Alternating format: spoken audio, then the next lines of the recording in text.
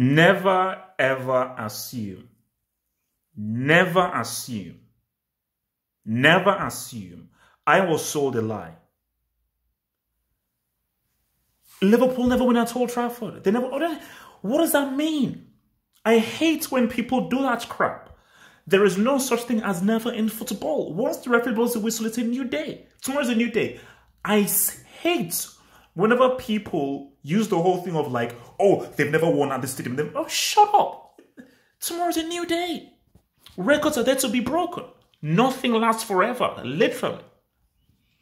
For United, do they have yourselves to blame? Got to give credit to, to, to Liverpool. Because I never want to make it to seem, seem as if, oh no, they won because this team was crap. Yes, United should have done better defensively, but Liverpool, especially going a goal down and knowing how bad they've been, the mentality and the character they showed to go to Old Trafford a goal down and win 3-1 shows huge balls. Their pressing game was on point. Their attacking game was on point. They defended hugely, especially when the, um, they defended against Greenwood and, and so forth. This was a big, huge performance that showed incredible character. And again, it goes to show, what if Jota wasn't injured?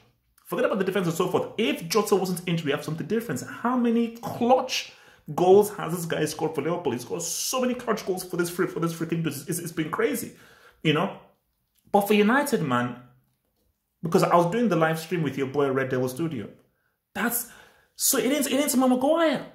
Because I thought, okay, um, it's it's Jeremy Maguire who is to blame, but no, it's not. That defense as a unit, I'm sorry, you bricked it. If you don't know how to pass from the back and you to pick Barcelona or your pick Spain, hoof the ball out. Hoof the ball out. United, Lindelof, Fred, who are you? Who are you to be playing the ball out from, from the from the freaking back? Who? Why? So for United, because it's about reaction, and I think that those goals they considered specifically the second goal and the third goal, that just was poor defending.